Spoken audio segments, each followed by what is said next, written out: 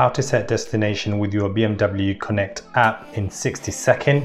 And first you need to download is app itself, BMW Connected from App Store or Google Play. And once you have that, you just need to hop over to destination and then put the postcode that you're interested in. So WC2B is a, a address that I wish to go. For example, and send to vehicle.